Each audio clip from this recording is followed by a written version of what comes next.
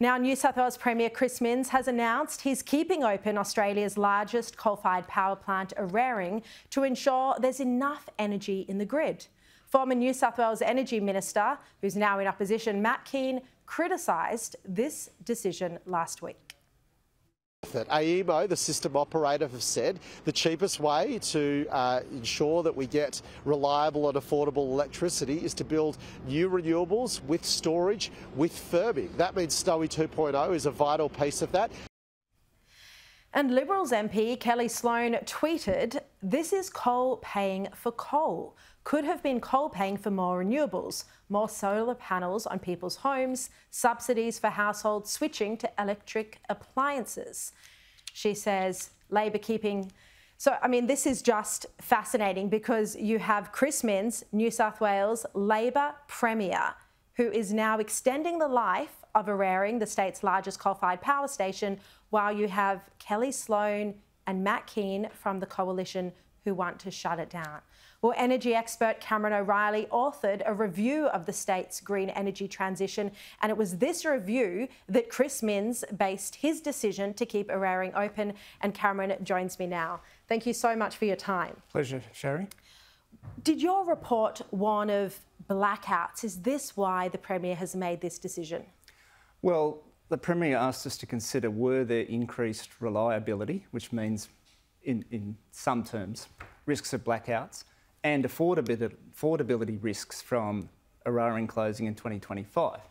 And our review, our company's review, um, and most recently, the Australian Energy Market Operator found that there were increased risks if it closed around that time. So yes, we recommended that the plant should be extended, and now it's up to the owner of the plant, Origin Energy, and the government to work out the terms of any e and extension. Did you, did you put a, a, a timeline on that? You know, how many more years that the state needs this coal-fired power station to stay open to ensure that we do have enough energy in the system?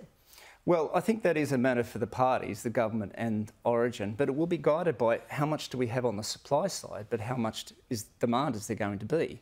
And you don't take risks with an electricity system, you've got to keep them in balance. Mm. And remember that an electricity system has to deal with extremes. It reaches its highest demand times when it's 45 degrees in Penrith or when it's freezing cold in winter and you don't have much solar generation because there are short days. So the system has to be able to deal with those stresses. And that's where reliability has to be thought about because mm. the interesting perspective on climate change is yes, those extremes are going to get worse. So it's likely that you're going to have to have a system that can deal with those extremes. And in March this year, we had the highest ever demand in New South Wales on a March day. So the peak demand is not coming down, and you have to allow for that. So, when you look at those days where there are extreme weather conditions, how vulnerable is our system? Well, I mean, on the whole, we have a very reliable electricity system and we all want to keep it that way. Mm. Because remember, we're going to start relying on electricity for our cars. We're going to start relying, um, net zero is premised on more use of electricity and the removal mm. of gas. So you cannot compromise on reliability because it's critical to you know, a whole lifestyle. And of course, it's also an essential service.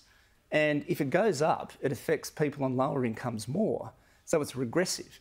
Mm. So you mm. really can't compromise on either of those things. So if it's perceived to be a risk averse approach, um, let's hope we keep it that way. Mm. Look, given that's your view, do you think the progression towards renewable energy in New South Wales has been too hasty? No, I, look, it's bipartisan support for the growth of renewables in New South Wales, and we're not questioning that. Mm. But you know, those renewables are premised on building new transmission, which is never quick. And then some of the comments there talked about rooftop solar. Well, we supported more uptake and use of rooftop solar. That's a fact of life. People are doing it. But anything, every project in infrastructure at the moment is facing delays, cost blowouts. There's 3.6 unemployment mm. employment across the nation. There are skill shortages. And see the evidence of Snowy 2, Marinus Link this, this week. Uh, if you're relying on new stuff to replace stuff that's going out, and you get it wrong, there are high consequences to mm. that. All right, Cameron, thank you very much for your time. Really appreciate it. Pleasure.